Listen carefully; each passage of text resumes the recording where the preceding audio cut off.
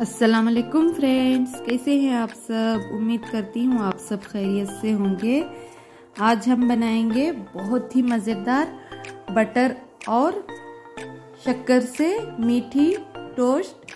बहुत आसान है फ्रेंड्स इसे बनाना और ये एक बार आप जब बनाएँगे तो बहुत पसंद करेंगे। सबसे पहले रखेंगे एक पैन, उसमें डालेंगे हम एक बटर क्यूब्स। आपके पास जो होममेड बटर आता है, वो भी आप यूज़ कर सकते हैं। इसके बदले आप घी भी यूज़ कर सकते हैं फ्रेंड्स अब मैं इसमें दो ब्रेड के स्लाइस को डाल चुकी हूँ और मैं और एक बटर क्यूब्स डाल रही हूँ फ्रेंड्स ताकि हमारा ब्रेड पीस अच्छे से रोस्ट हो और इसमें बहुत टेस्टी टेस्ट आए। देखिए फ्रेंड्स कितना आसान है ना इसे बनाना। इसे हम लो फ्लेम में रखकर अच्छे से रोस्ट करेंगे ताकि टोस्ट अच्छा हमारा क्रिस्पी हो। अब देखिए अब देखिए हम इसके ऊपर डालेंगे एक चम्मच जितनी शक्कर शक्कर को भी डालकर हम इसे पलट लेंगे। इसका टेस्ट बहुत अच्छा आता है फ्रेंड्स।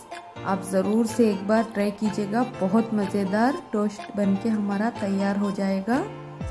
आप शाम में टी टाइम ये बनाकर खाइए, आपको बहुत पसंद आएगा फ्रेंड्स। देखिए, अब हम लो फ्लेम में रखकर इसे अच्छे से सेक कर अब तैयार हो चुका है ये बनकर।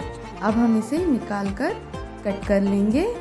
देखिए, अब हमारा बटर स्वीट टोस्ट बनके तैयार हो चुका है फ्रेंड्स। अगर आपको ये रेसिपी पसंद आई हो तो प्लीज़ लाइक कीजिए, शेयर कीजिए, सब्सक्राइब कीजिए फ्रेंड्स। फिर मिलेंगे हम नेक्स्ट वीडियो में।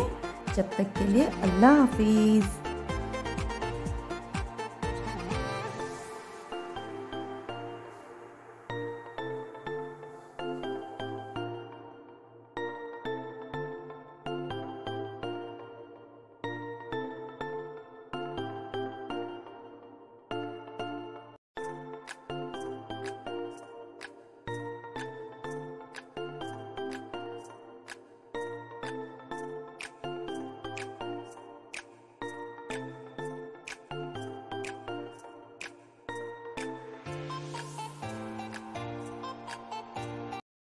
Música